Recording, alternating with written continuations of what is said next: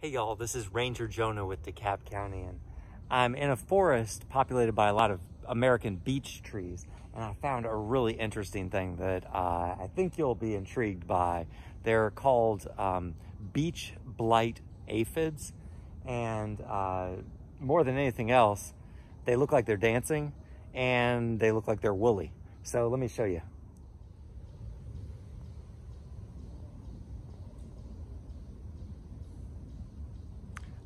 I was hoping I'd get to show you the difference between when they weren't dancing and when they were, but I think a wind just blew and got all these aphids dancing. Let's see if we can zoom in a little bit, get you focused on these guys. Maybe not focused. Now I'm gonna make them dance even more by tapping the branch.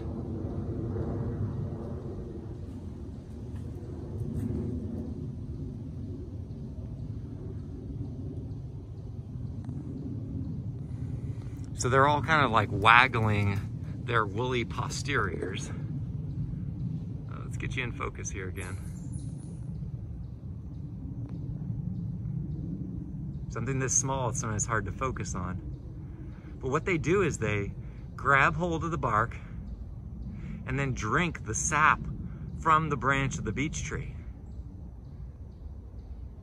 So they are a parasite, but the research shows that they do not hurt the beech tree in any dramatic way. This branch may die, but the whole tree will probably survive, even though it's a fairly young tree. Let me show you how far up this goes. There they are dancing.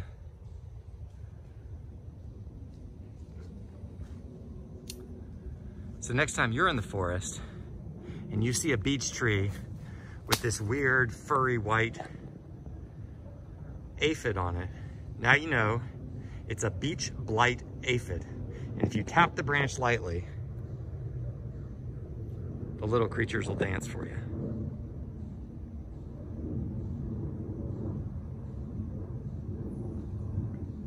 This is Ranger Jonah with DeKalb County, signing off.